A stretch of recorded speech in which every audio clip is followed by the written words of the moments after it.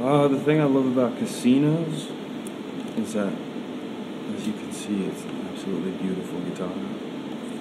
It's very light. Um, you know, I just like the, the sounds of it. The uh, versatility. You mind if I play some? I mean, perfect example is you can play something sweet. Turn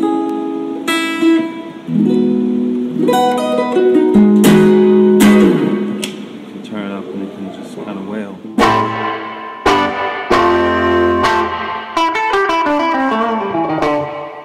It's pretty much all I want in a guitar. And, uh, I don't know. All my favorite blues players, you know, played a hollow body or a semi hollow body or, you know, big round guitar like this. Something I always wanted. Here it is. Um, the Vibro Kings. I don't know.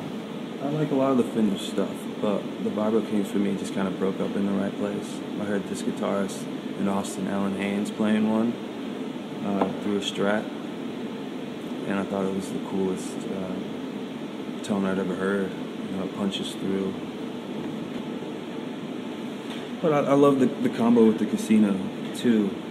You know, like I said, it can get sweet, light. You crank it up, it'll feed back, kind of cool and nice. And so it's, I like the way it sounds together. So that's, that's why I'm doing it. Not much to it. Just turn it on.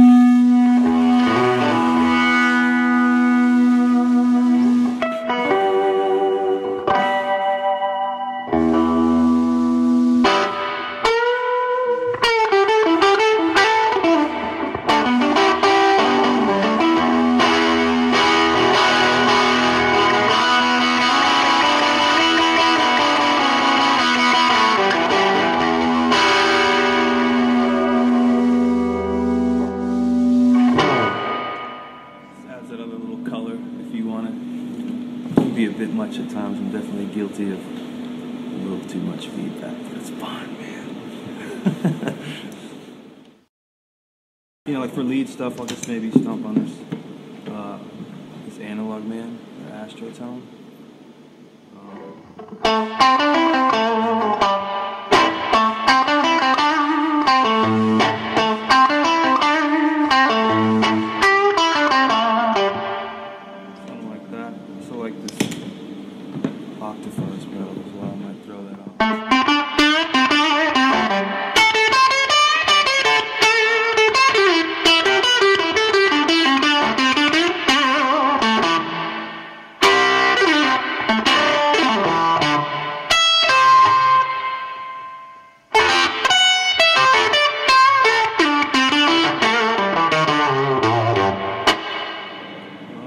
pretty much it for you know bright lights. I might throw some delay on there just for fun.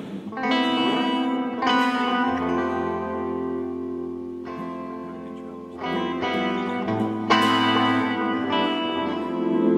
want to give you all of it though. A little taste.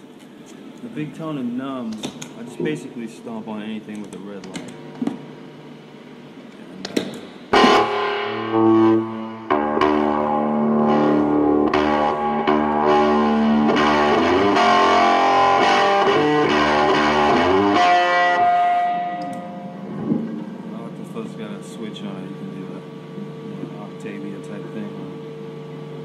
Straight fuzz.